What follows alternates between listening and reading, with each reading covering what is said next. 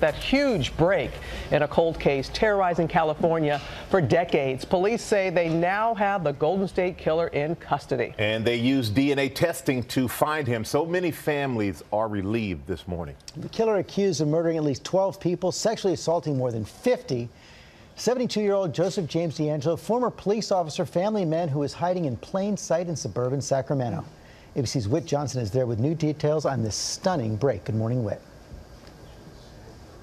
George, good morning to you. Absolute shock in this quiet community that the man who terrorized California may have been living right here. The Golden State Killer vanished in the 80s, gone for decades until investigators say a key piece of DNA evidence connected the dots just days ago. The 40 year manhunt for one of the most prolific serial criminals in American history, perhaps coming to an end at this suburban home. We found the needle in the haystack and it was right here in Sacramento. Police say this man, 72 year old Joseph James DeAngelo, is the elusive Golden State Killer. The former police officer allegedly responsible for at least 12 murders, upwards of 50 rapes, and more than 100 burglaries in California from 1976 to 1986. DeAngelo's name never coming up in prior investigations, but just six days ago, a critical clue. We started some surveillance we were able to get some discarded DNA, and we were able to confirm what we thought we already knew, that we had our man. DeAngelo seemingly hiding in plain sight. Police surprising him and taking him into custody on Tuesday as he was leaving his home. For the 51 ladies who were brutally raped in this crime scene, sleep better tonight. He isn't coming through the window. He's now in jail, and he's history. Thank you. DeAngelo's arrest bringing relief to victims and their families. I woke up to a text from a very good friend of mine who said, do you think this is really the guy? And it had an article attached saying that they had somebody, they had made an arrest. And I, I just started shaking. I never in my lifetime expected to see that. Authorities say he worked as an officer at two different police departments until he was reportedly fired in 1979 for shoplifting dog repellent and a hammer. Very possibly he was committing the crimes during the time he was employed as a peace officer. Also known as the original Night Stalker and East Area rapist, the killer taunted police and his victims with phone calls long after the attacks.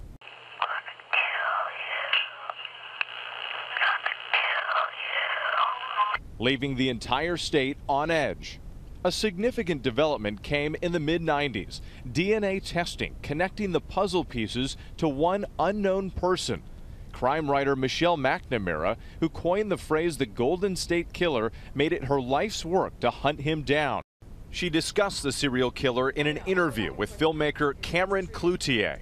I'm very struck by that people did not call out, you know, that there was a weird guy hanging around. So he had to right to fit in. Um, but on the other hand, it's just the level of violence mm-hmm. is so extreme. McNamara died in 2016, but with the help of her researchers and husband, comedian Patton Oswalt, her book I'll Be Gone in the Dark was completed and released in February. It debuted at number one on the New York Times bestseller list, sparking national interest in the case. You did it, Michelle, even though the cops are never going to say it, but your book helped get this thing closed.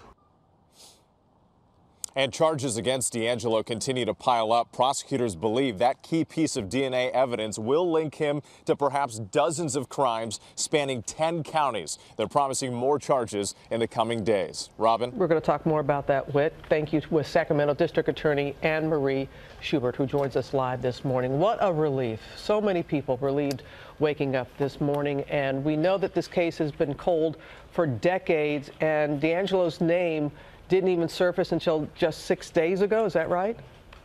That's correct. That's correct. And the discarded DNA, it didn't come from a tip from coming into your office. So tell us a little bit more about the discarded DNA and how that was the key.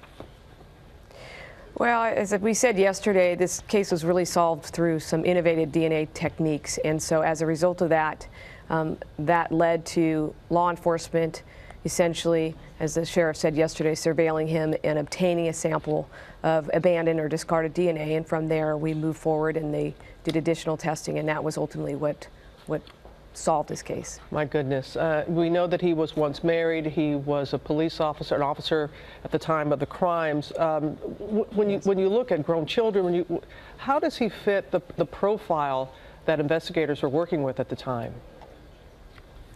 Well, he was never on a list. So now we're at a point now, as I said yesterday, this is like lightning speed. So everything is now trying, it's an active investigation, but um, I think all those, those answers are going to be filled in over time, though. Uh, it is an active investigation. We appreciate you sharing as much as you are. And we heard in the report, um, as right now he's been charged with the first two known killings in the so-called Golden State killing. Uh, how, how, many more do you suspect? And we know that the last killing was in 1986, but will he possibly look back, look to for, for other cases since that time?